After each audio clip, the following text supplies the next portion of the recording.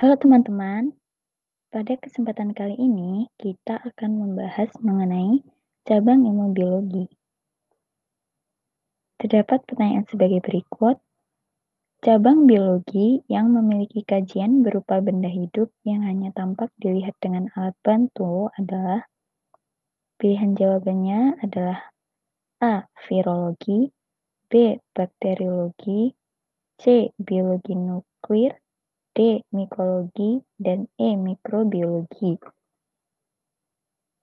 Untuk menjawab pertanyaan ini, langkah-langkah yang harus kita lakukan adalah yang pertama, mengetahui cabang biologi dan definisinya berdasarkan yang disebutkan di soal. Kemudian langkah yang kedua yaitu kita menentukan cabang biologi mana yang sesuai dengan ciri-ciri yang disebutkan di soal. Yang pertama yaitu virologi. Virologi adalah cabang ilmu biologi yang mempelajari tentang virus.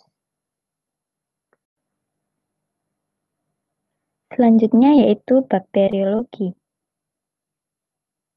Bakteriologi adalah ilmu biologi yang mempelajari tentang bakteri dan pengaruhnya terhadap sebuah penyakit dan obat-obatan, serta bidang lainnya seperti pertanian, industri, perekonomian, dan lain-lain.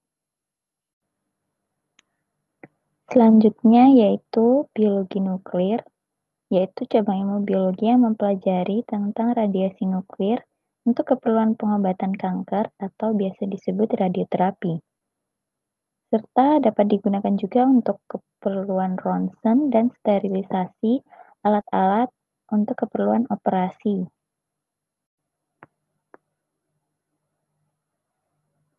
Selanjutnya yaitu mikologi, yaitu cabang ilmu biologi yang mempelajari tentang fungi atau jamur. Dan yang terakhir yaitu mikrobiologi, yaitu cabang ilmu biologi yang mempelajari mikroorganisme atau organisme hidup yang tidak bisa dilihat dengan mata telanjang.